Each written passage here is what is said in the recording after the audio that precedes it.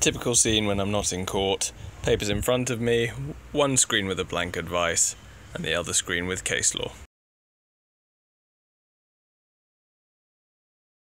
What I'm doing now is I'm just researching the White Book, working out the fixed fees for tomorrow's fast track hearing, both solicitors' fees and my fees.